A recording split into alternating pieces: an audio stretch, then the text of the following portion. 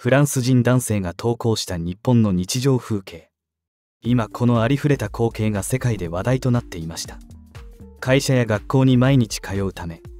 皆さんはさまざまな交通手段を用いることでしょう。気楽に車で出社をする人もいるでしょうし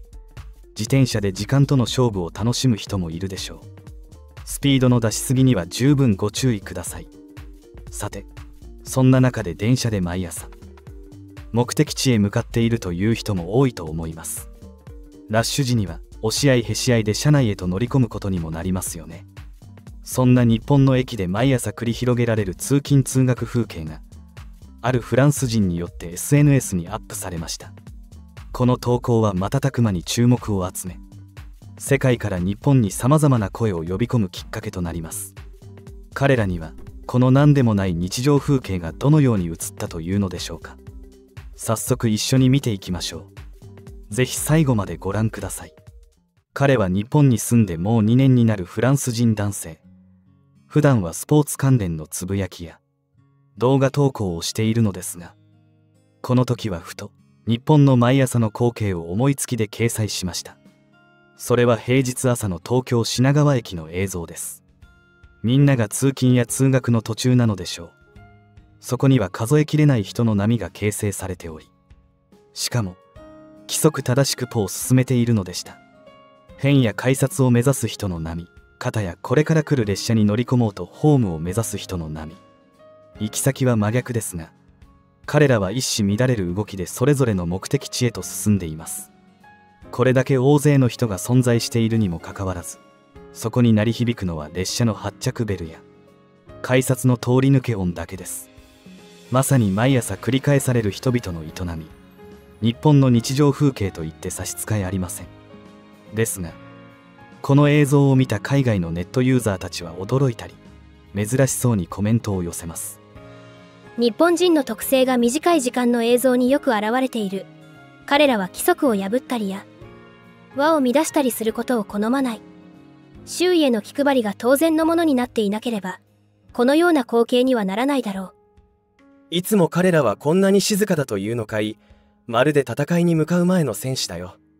確かに海外で見られるような光景と日本のそれは違って見えるかもしれません。これはあくまでも改札からホームに至るまでの映像となっていますが彼らは車内でも沈黙を守り車内に押し込められながらもそれでも他人との距離感を配慮します。しかしむしろこのような光景は世界においてとてもレアケース。例えばアメリカやイギリス地下鉄の無秩序な様子を見ればこの日本の光景が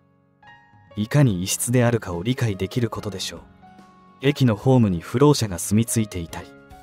暴力事件が頻発したりと日本では考えられないことも多々あります。それに対して日本では誰に言われたわけでもなくこのような決まった規則でもあるかのように統制が自然と取られているのです。またこうしたまとまりができているのも急に立ち止まったり無茶な方向転換をしようと試みる人がいないから。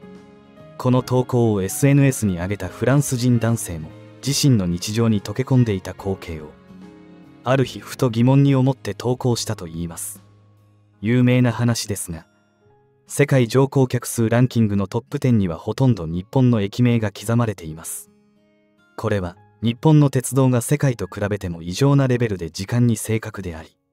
大きな事故やトラブルも圧倒的に少ないためです。都市部では電車の遅延が日常茶飯事に感じるでしょうがあれは日本だからあの程度で住んでいるとも捉えることができるのですね。もしもある国で同じ人数の国民を駅に集めてみてもこのようなまとまりのある動きを実現することは不可能でしょう。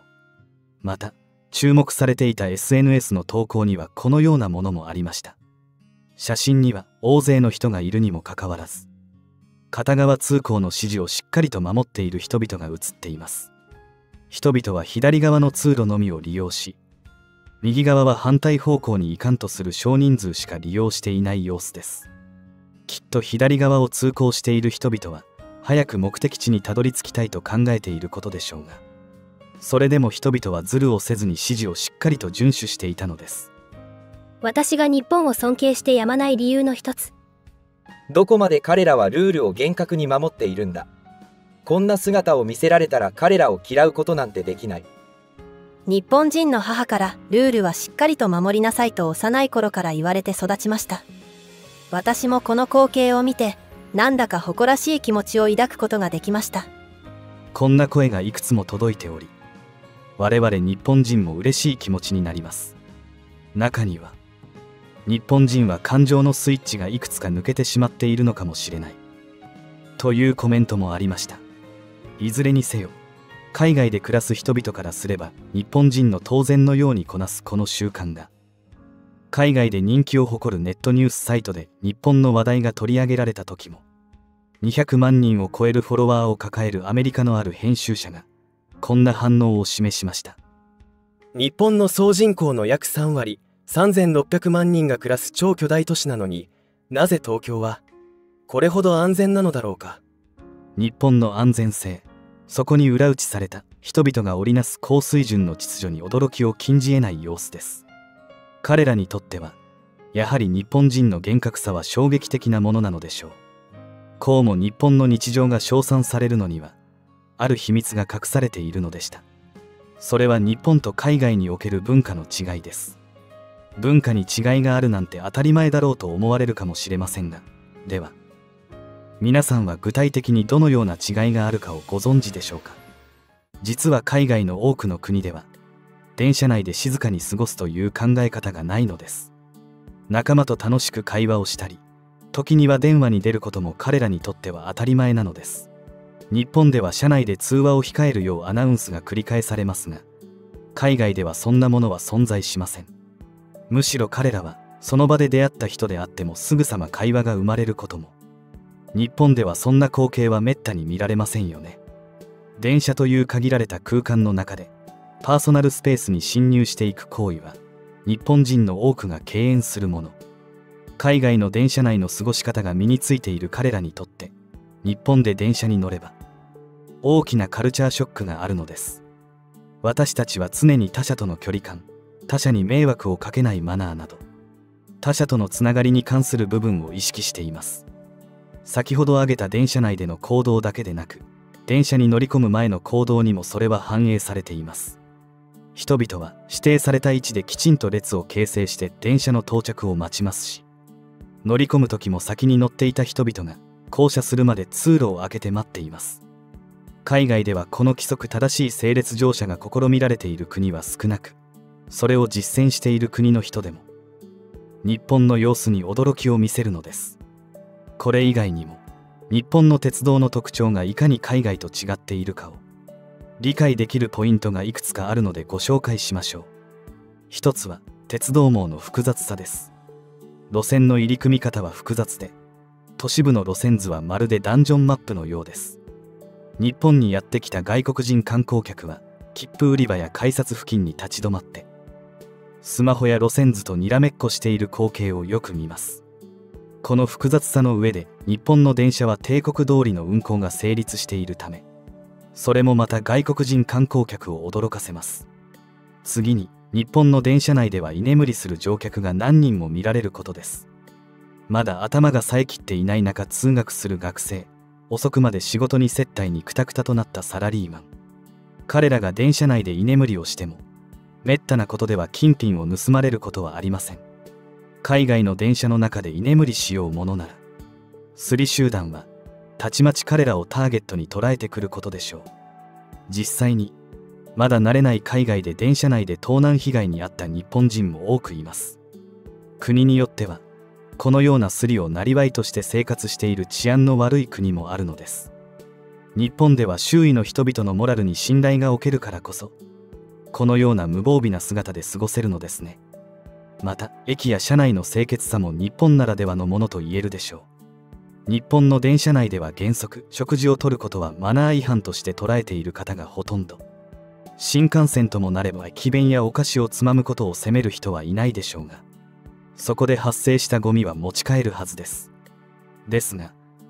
これは海外では全く異なる様相を見せます。車内で発生したゴミはまるでそこに捨てるのが当然といったように席に放置する人ばかりです。そして次にその席を利用する乗客はゴミを脇に退けて座りまたそこでゴミが発生するというサイクルが生まれます。こうして駅や電車内にはゴミが散乱するのでした。アメリカでは鉄道会社に勤める社員の給与が低いことが問題となっています。合理主義的な彼らはもらえる給与以上の働きを自ら進んですることなどありませんから。駅や電車内のゴミは駅員の目にとどまったとしても放置されます。それは駅の清掃員の仕事を奪うことにもなりかねないからです。ですがその清掃が入るタイミングも毎日ということはありません。ゴミが散乱し不老者が住み着いて結果的には犯罪の温床となってしまうケースもあるのです。これでは乗客が安心して電車に乗ることなどできません。私たちが日常的に使う電車。そこに見られるありふれた光景は世界から。非常に羨ましがられる理由がここにあります。さて先ほど日本と海外との文化の違いのお話をしましたがここでもう一つ違いを見ていきましょう。日本と海外の違い。それは個人の自由という部分を重視しているかどうかです。日本と海外では個人の自由という言葉の解釈に違いがあります。海外では自分が何をしてもいいように。他人もまた何をしようと自由だとする考え方が根付いています。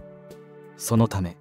公共の場所である電車内でも日本よりも自由に振る舞うことができるのです。それに対してよっぽど過剰なものでなければ文句を言うこともありません。対して日本では他人の上に個人の自由があります。周囲に迷惑をかけない。この絶対条件なくして個人の自由は成り立たないとするのですね。集団内での空気感を探り合うことで電車では静寂が保たれます。ではこのような集団内の空気感とは他に具体的なものはあるのでしょうか。中国メディアでは日本が静かに過ごす理由についてを分析した記事が掲載されたのですがそれを見ていくことで具体例とその理由について紐解いていけます。具体例としては集団生活が行われる自治体です。もっと分かりやすく言うなら村や町。昔から存在する歴史ある地域にはその地域独自のルールや慣習が根付いています。中国メディアはまず日本もファーストフード店や居酒屋などでは日本人も賑やかに過ごすという点に着目しました。それは中国でいう井戸端会議都市部のダンスを踊る若者がたむろする公園と一緒だと述べます。ですが日本と他の国の違いは TPO をわきまえているからだと結論付けたのです。時と場所そして場合によって日本人は切り替えが非常にスムーズだと分析しています。ここで先ほどの村や町の話に戻りましょう。日本では古来より村八部という慣習が存在していました。決まりを破ったり悪事を働いた者をそこに住まう人々が結束して孤立させるという。一種の制裁にあたります。語源としては地域生活における10の共同行為のうち葬式と家事の世話以外の8つの交流が断たれることからこの名が付けられたとされます。交流を断たれる8つの共同行為には出産や病気にかかった時のフォローも含まれるので医療がまだ発達しておらずなおかつ交通の便が栄えていないところでの村八部は文字通り死活問題でした。村八部にされれば自身の命が危うくなってしまう。そのため日本人は極度に他人に迷惑を。かけることを恐れる。それが自分の身を守る最良の選択だからだ。これによって日本は世界で最も秩序ある国になることができたのかもしれない。記事ではこのような言葉で締めくくられています。いかがでしたでしょうか？日本人にとってかつてのような生活区域での集団意識は昨今薄れていることでしょう。しかしその頃から形成されてきた国民性とも呼ぶべき習慣が今も人々の潜在意識に確かに受け継がれているのです。そしてその習慣は今日も世界からの高い評価につながっています。他人目線で物事を考えることができる日本人の思考力を我々はもっと誇りに思うべきかもしれません。当たり前のことを当たり前にする。自分では当たり前すぎて意識しないことでもその偉大さに自分で気づかないという人は多いです。あなたが当たり前にしていることがきっと誰かの役に立っていたり感謝につながっていたりするのです。この日本らしい良さを忘れずにいたいものですね。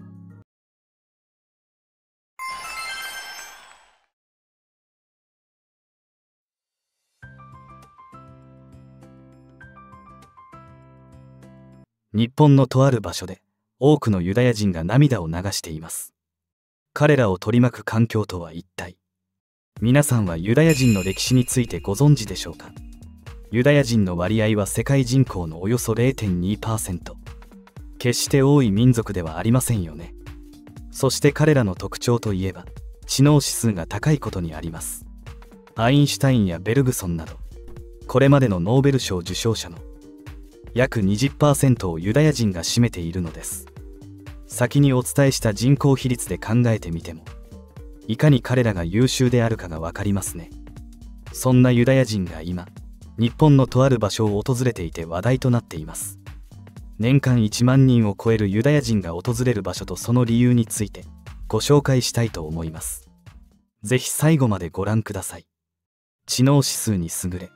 中には天才の民族と呼ぶ人も多くいるユダヤ人。彼らの多くはイスラエルに暮らしています。約868万人のイスラエルの人口の中でユダヤ人の割合は全体の4分の3を占めるそうです。そして今日本では多くのユダヤ人が集まるとある場所が有名になっていました。それが岐阜県の飛騨高山でした。江戸時代から残る古き良き景観を残したこの地は当時の歴史的建造物や文化を現代まで受け継ぎ四季折々の自然と建造物が織りなす景色が非常に有名でした。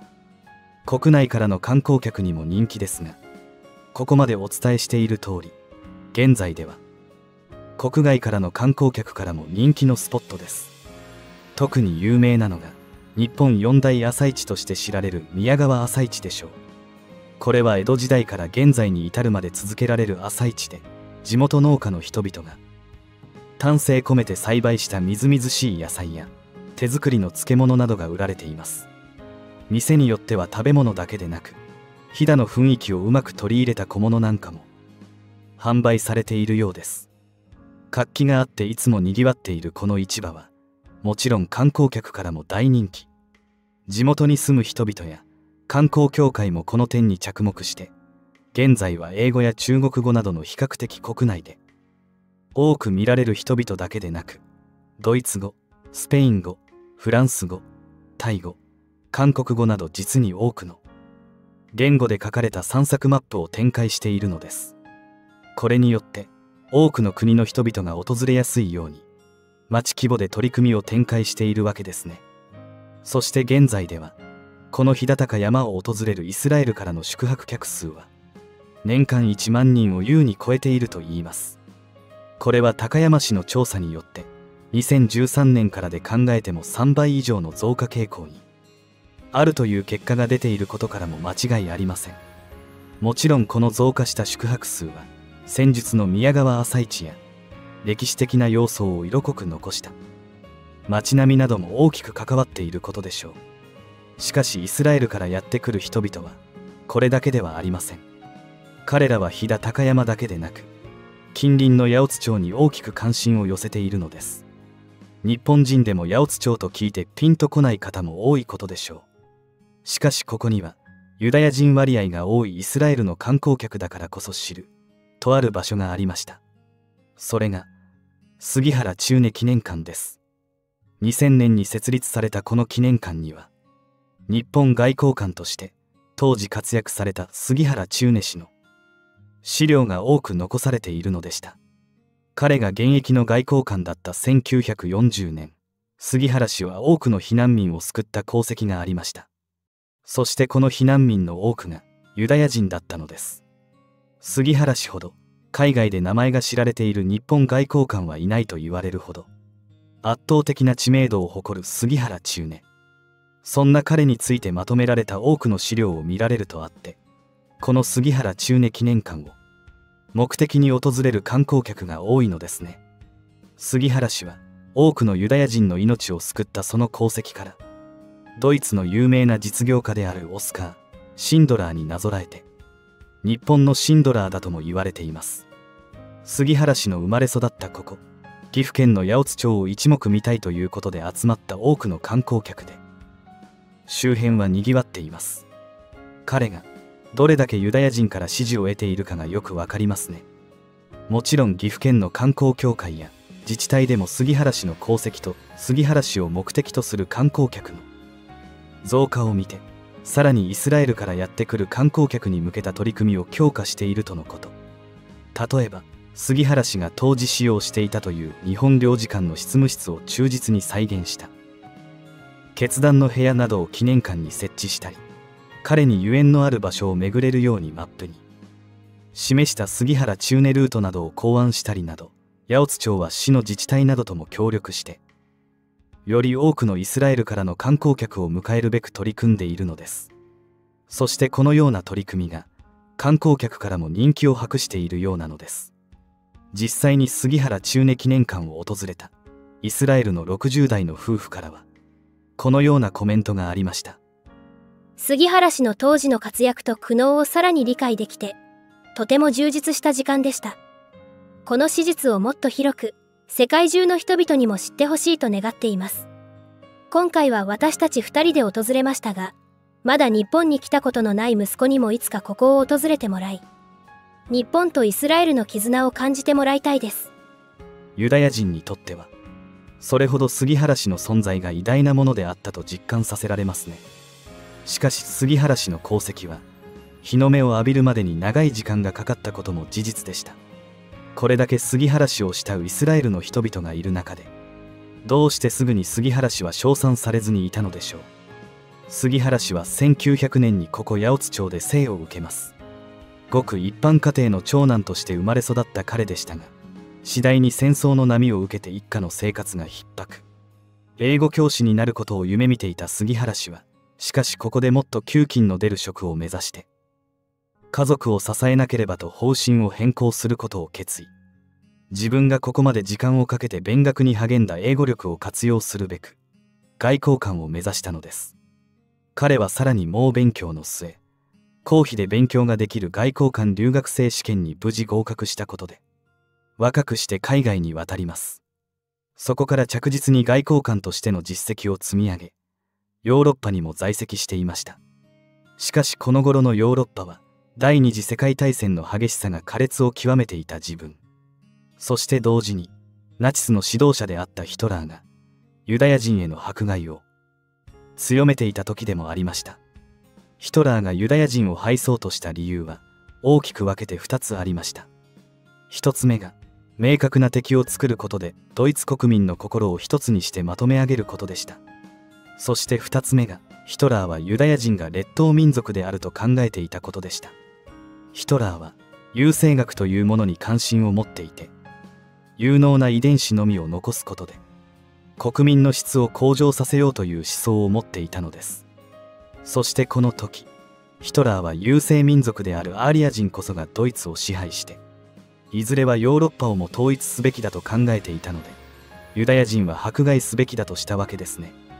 もちろんユダヤ人はこれに抵抗を示しました。1939年中立国だった隣国のリトアニアへユダヤの人々は亡命したのでした。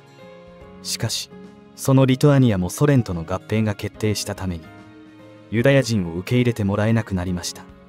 そこで次二大三国へ逃亡しようとリトアニアにあった日本領事館に多くのユダヤ人が詰めかけました。彼らは日本通貨のためのビザを求めたわけですがこの時リトアニアのカウナスにある日本領事館で領事代理を務めていたのが杉原氏でした。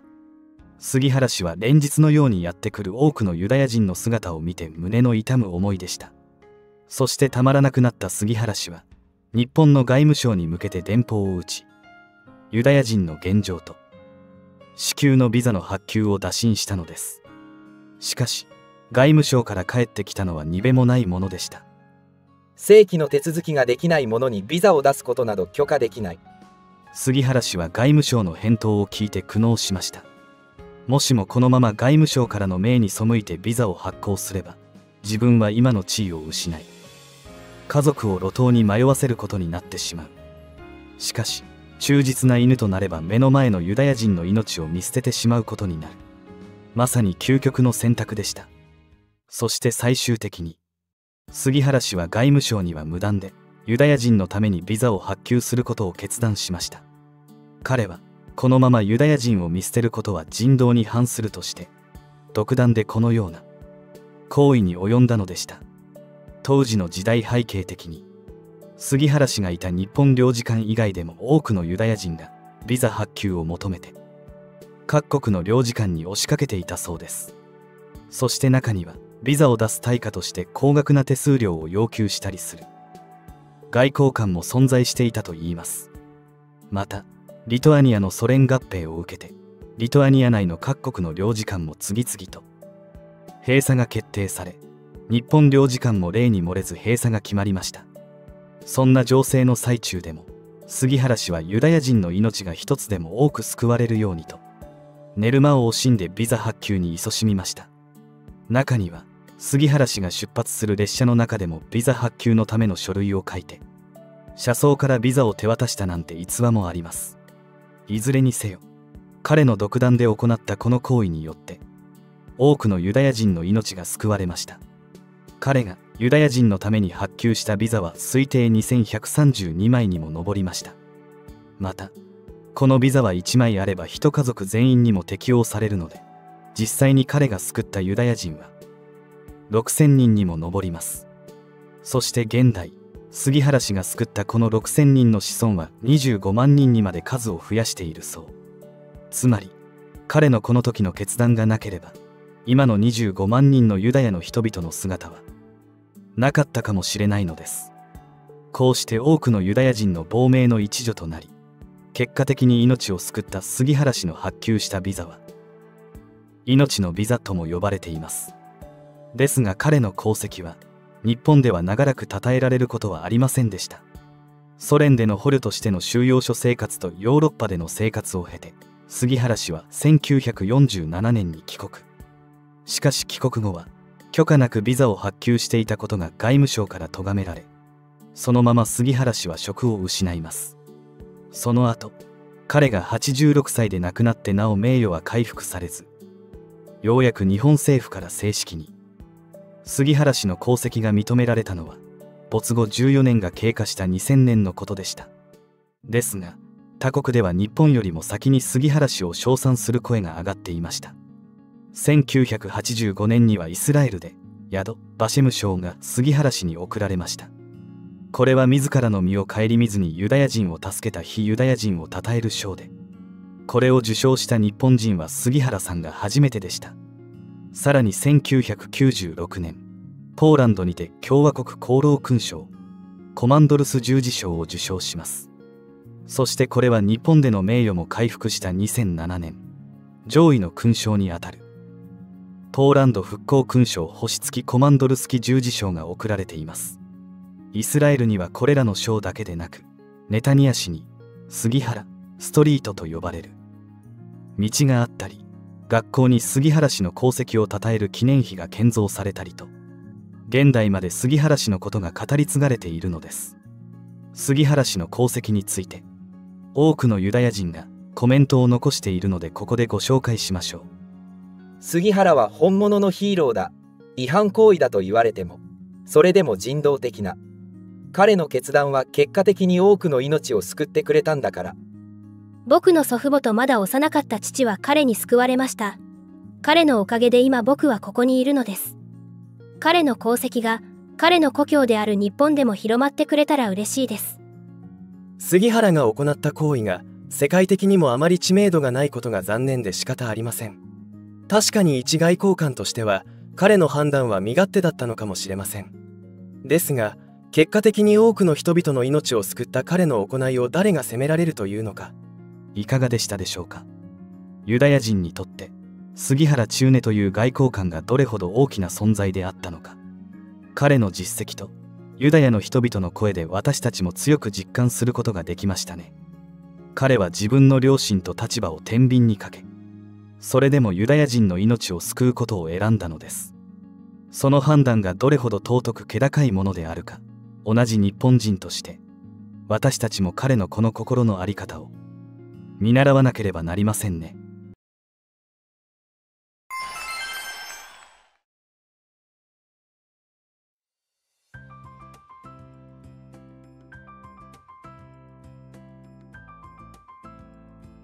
イタリアから遠く離れた東の地日本と中国をめぐる鉄道の旅に出た女性がいました。彼女は異国の地で目にした光景に心を動かされ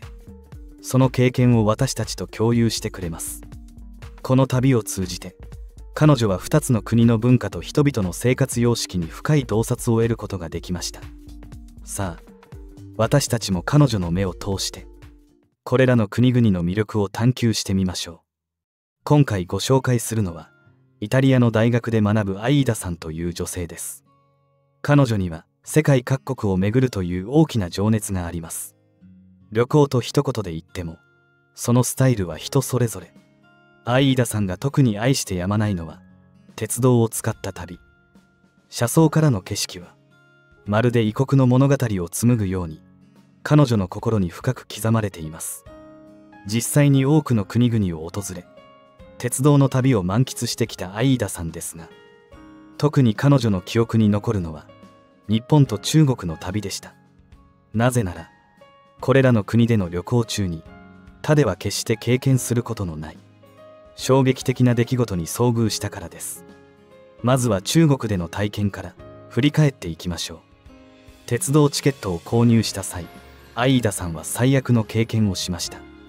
彼女はチケットの価格が異常に高いことに疑問を抱きます。それもそのはず彼女は他の中国人の3倍もの金額を支払っていたのです。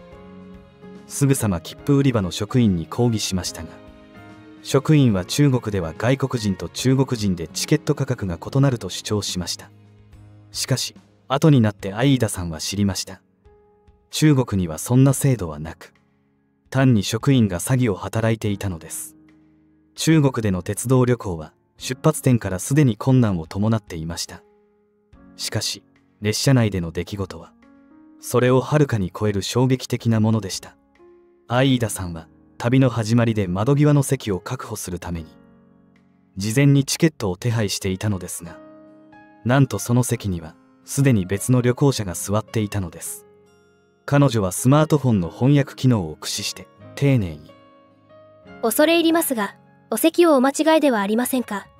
こちらは私が予約していた席です。と伝えました。ところがその男性の返答には驚かされました。私が先に座ったんだ。立ち去る理由がどこにある？もし君がどうしてもこの席に座りたいのなら代金を支払ってくれたら考えてもいい。というのです。この理不尽な要求には反論する気にもなれずアイーダはすぐさま列車の職員を呼び事態の解決を試みました。しかし職員は乗客がどの席に座るかは私の管轄外です。私の仕事はチケットを持たず不正に乗車する者を取り締まることだけです。と責任逃れのような返答をしました。アイーダさんはその無関心な態度に愕然とし他の席を探すために車内を歩き回りましたが空席は一つも見つかりませんでしたどうやらチケットを持たない人々や自由席チケットを購入した人々が無秩序に席を占めているようでした。乗務員の態度からはこの状況が改善される見込みは薄いと感じたアイーダさんは結局諦めて列車の出入り口付近に立ち外の景色を眺めることにしました。しかしアイーダさんの旅はまだ始まったばかり。心を落ち着かせようとした。そんな彼女の目に再び信じられない光景が飛び込んできたのです。あまりの出来事に彼女は驚きを隠せません。それは想像を超えたものでした。車両内に広がっていた光景は食事の後のゴミや赤ちゃんのおむつがまるで当たり前のように窓の外へ投げ捨てられているのです。さらには匂いの強い食べ物を躊躇なく食べお酒を飲み食べ残しを車外に捨てる人々。極めつけにはドアの外で用を足す姿もありました。アイーダさんがその理由を尋ねると狭く息苦しいトイレよりも開放的な風景の中で用を足したい。という答えが返ってきました。彼らには恥という概念がないのでしょうか。アイーダさんはその民度の低さに驚きつつ再び座席車両へと戻りました。そこは市場のような騒がしさ。アイーダさんはまだ数時間この悪夢のような旅を続けなければなりませんでした。中国でのスケジュールは残っていましたが列車旅行を愛する彼女でさえこの不快な旅はもう耐えられないと感じました。そしてイタリアへの帰国を決意したその時アイーダさんは隣国日本への訪問を思い立ちました。ヨーロッパでも人気の日本食や J-POP 彼女はいつも遠い日本の文化がどのようにして海を越えイタリアを魅了するのか不思議に思っていました。そして中国にいる今隣国の日本を訪れる絶好の機会と捉え急遽予定を変更し日本へと向かうことにしました。日本の初めての印象は中国とは一線を画すものでした。中国の切符売り場が外国人を欺くことがあるのに対し日本では成田エクスプレスという列車が外国人旅行者に対して最大30%の割引を提供するという温かいサービスが存在します。アイーダさんはこのサービスを利用して驚くほどお得にチケットを手に入れることができたのです。この日本独自の制度を目の当たりにしてアイーダさんは2つの異なる感想を抱きました。日本は外国人に対しても配慮深く親切に接する先進国であると感じました。しかしもう一方で成田エクスプレスが外国人にとって最適な選択肢ではないのではないかという疑念を持ちました。中国での不快な経験が日本に対する疑念を抱かせるには十分であり割引を提供する背後に何か理由があるのではないかと考えたのです。アイーダさんが成田エクスプレスに乗り込み自分の指定席を探していた時彼女は予期せぬ失望に直面しました。彼女の席は向かい合わせの座席ですでに別の乗客である日本人が座っていたのです。日本と中国は地理的に隣接していることから市民意識にも類似点があるのではないかと考えていたアイーダさんはこの出来事によりその考えが強まりました。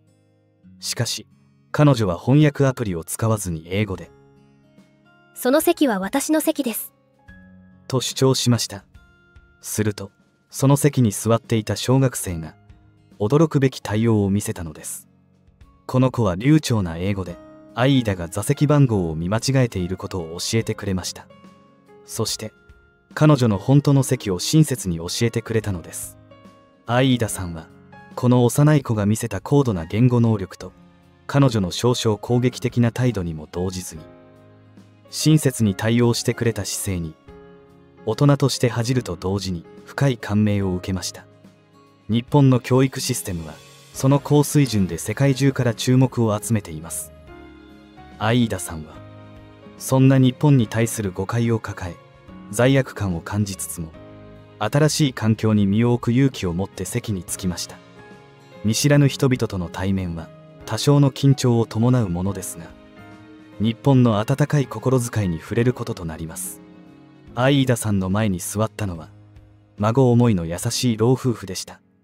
彼らは手作りのお弁当を分け合いアイーダさんの心を和ませてくれたのです。ヨーロッパでは見知らぬ人から手渡される食べ物を口にすることはまさに自らの命を危険にさらす行為と言えます。実際公共の場で無警戒に受け取った食べ物を食べた結果気づけば貴重品を全て失ってしまう。という事件がヨーロッパ各地で後を絶ちません。しかし日本ではそのような不幸な出来事は考えられないとアイーダさんは確信しています。日本人の老夫婦が何とも信頼できる雰囲気を醸し出しており周囲の日本人乗客たちの和やかな様子を見ていると日本の社会はそうした恐怖からは無縁であると感じました。彼らから差し出された食べ物をアイーダさんは何の疑いもなく受け取り味わいました。